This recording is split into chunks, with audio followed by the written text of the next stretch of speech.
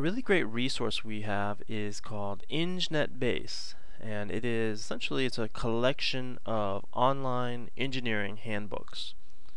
You can get to it by going to the library website. This is the URL.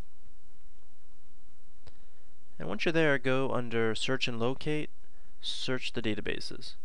This brings up the page of our database listing.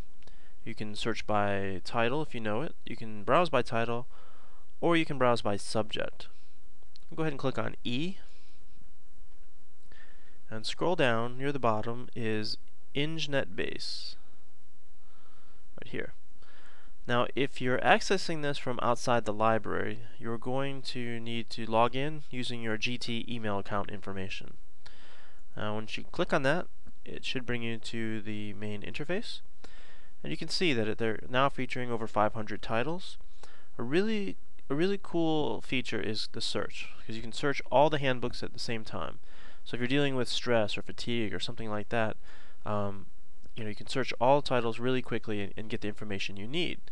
You can see some of the categories, you know, technology, nanoscience, lasers and optics, um, industrial engineering, manufacturing, those kind of things.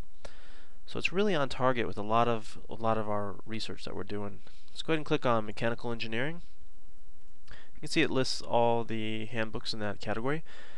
I think uh, thermodynamics seems to be a really uh, favorite class of everyone. We'll go ahead and look at that. We click on Read It Online, and this brings up a table of contents. And one of the cool things is that it's in PDF, so that means it's it's fully searchable. You can uh, save it to your hard drive. Uh, you can print it.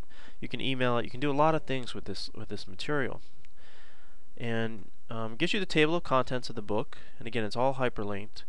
So we can go ahead and click on something, uh, the multipliers,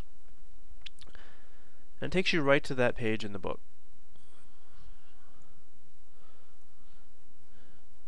And a lot of you know a lot of grad students and, and PhD students use this, and I, I definitely recommend it. It's a great, powerful resource. So again, use ENGnetBASE. And if you have any questions about this or any other resources, let me know.